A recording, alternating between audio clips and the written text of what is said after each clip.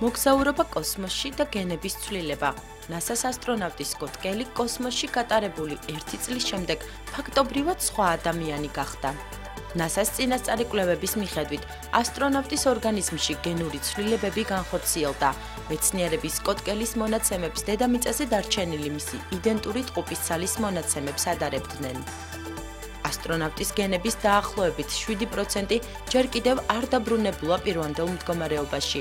კელის კოსმოსში მოგზაურობის შემდეგ 2 წელი გავიდა. მან NASA უკვე დატოვა. იდენტურ ტყუპებზე დაკვირვება მაჩვენა თუ როგორ შეიცვალა ასტრონავტის მდგომარეობა როგორც ფიზიკურად, ასევე ფსიქოლოგიურად. მეტაბოლიტების, ციტოკინების და ცილების დიდი რაოდენობით ცვლილება ორგანიზმში ჟანგბადის დანაკლისთანაა კავშირში, რაც მომავალში ანთებით პროცესს საკვები ნივთიერებების დაკარგვას და გენურ ცვლილებებს იწვევს, აღნიშნავენ ექსპერტები. NASA-ს მეცნიერები წინასწარი კვლევების შედეგების შეჯამებას და გამოქვეყნებას გეგმავენ. მარსზე სამწლიანი მოგზაურობა უკეთ რომ განახორციელონ.